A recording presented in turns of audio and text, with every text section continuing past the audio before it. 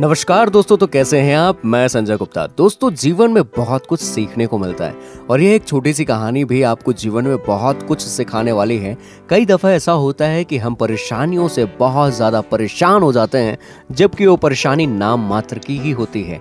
यह एक छोटी सी कहानी, इस कहानी को पूरा ज़रूर सुनिएगा, क्योंकि यह कहानी आपके ज़िंदगी में बहुत कुछ आपको सिखाने वाली है, कुछ ऐसा बताने वाली है जिसे आप अपनी ज़िंदगी में कभी भी, किसी भी वक्त चुनौतियों से और मुश्किलों से डटकर सामना कर सकते हैं। जी हाँ आइए शुरुआत करते हैं इस छोटी सी कहानी के, लेकिन उसके पहले आप कौन से शहर से हमारी ये कहानी देख रहे हैं, इस वीडियो के कमेंट सेक्शन में बताना बिल्कुल भी ना भूलें।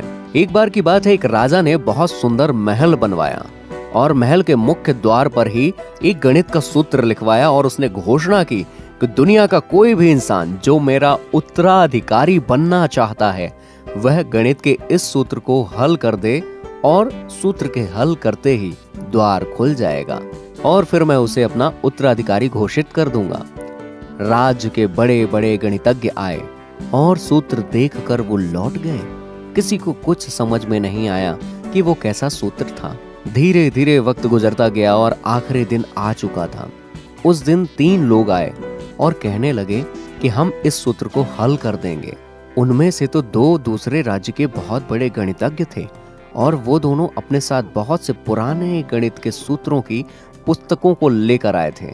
लेकिन एक व्यक्ति जो साधक की तरह नज़र आ रहा था सीधा साधा कुछ भी साथ नहीं लाया था, उसने कहा, मैं यहाँ बैठा हूँ। पहले इन्हें देखता हूँ। अगर इन दोनों ने इस दरवाजे को खोल लिया तो कोई बात ही नहीं। और वह सोचता हुआ बैठा रहा, और फिर उन दोनों ने गहराई से सूत्र हल करने में लग गए, लेकिन काफ़ी मेहनत करने के बाद भी वह द्वार नहीं खोल पाए। और उन्होंने अपनी हार मान ली। अंत में उस साधक को बुलाया गया और कहा कि अब आप इस सूत्र को हल करिए। आपका समय शुरू हो चुका है। तब साधक ने अपनी आँख खोली और सहज मुस्कान के साथ ही द्वार की ओर गया और साधक ने धीरे से द्वार को ढकेला और यह क्या? द्वार तो खुल गया। राजा ने साधक से पूछा कि आपने ऐसा क्या किया?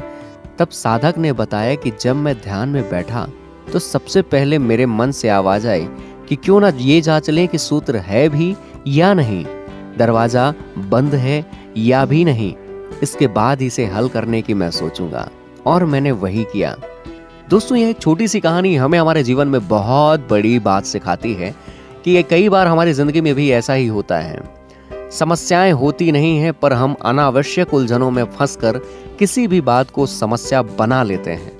और सोच सोच कर एक छोटे से विचार को हम इतना बड़ा बना लेते हैं और परेशान हो जाते हैं। तो दोस्तों, ये छोटी सी कहानी आपको कैसे लगी? कहानी अच्छी लगी हो तो इस कहानी के लिए एक लाइक कमेंट और शेयर और मैं हूँ आपका दोस्त संजय गुप्ता सतना। इस वीडियो को ज़रूर लाइक करिएगा और हमारे चैनल को सब्सक्राइब करिए ताकि हम और भी आपके लिए ऐसे ही ढेरों सारी कहानियाँ लाते रहें।